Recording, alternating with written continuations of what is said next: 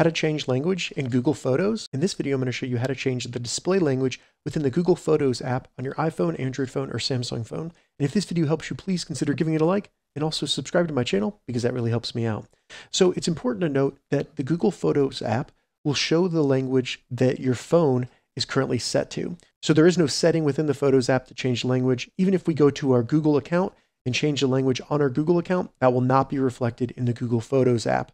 So what I recommend doing is going back to the home screen on your phone and opening up the settings. So on an Android phone, you'd swipe up and then select settings.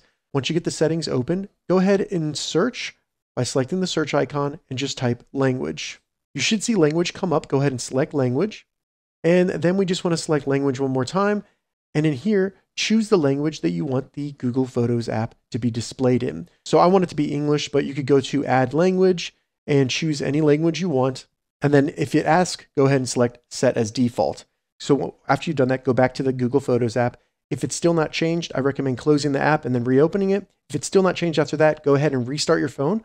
Then once you restart your phone, go back to the Photos app and you should see the new language, which is Spanish for me, in the Google Photos app. As you can see, all the menus and all the items in the app are now in Spanish. So that's how you change language in Google Photos app. If this video helped you, give it a thumbs up and please consider subscribing to my channel.